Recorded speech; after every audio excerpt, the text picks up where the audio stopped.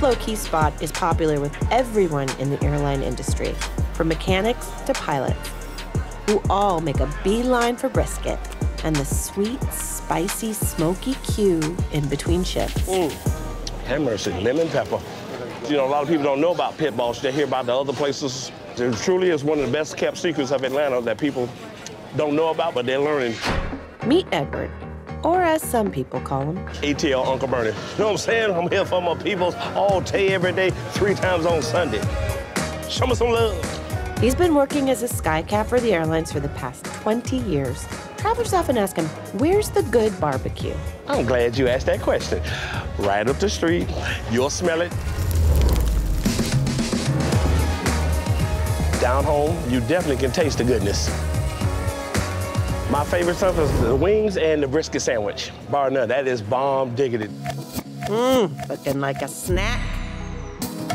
The best bet brisket sandwich takes that perfectly charred brisket, slathers it with portobello mushrooms and sauteed onions, and tops it off with melted pepper jack cheese. It's so good, it'll make you sing.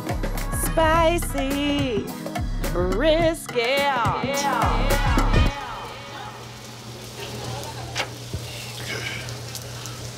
Got some wings ready.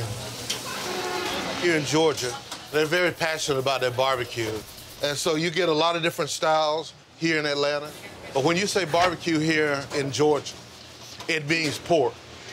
Wade makes some mean pork ribs for the barbecue purists. But he'll slow cook whatever he wants and call it barbecue if he damn well pleases. Watch him work. Ready? Yeah. Okay. Yes. Mm-hmm. What? Barbecue. I want a barbecue sandwich. We're known for our spare ribs, of course, sliced brisket, as well as uh, smoked wings. A lot of barbecue places, they'll smoke the wings and then they'll deep fry them. We grill ours. That's what sets us apart from everybody else. My mom taught me how to barbecue, how to smoke meat.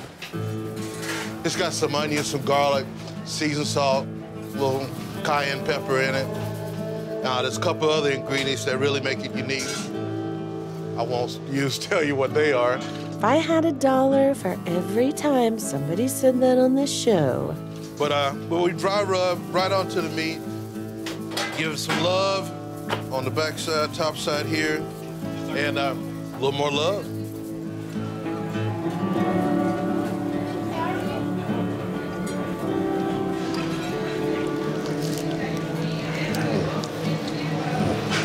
So good.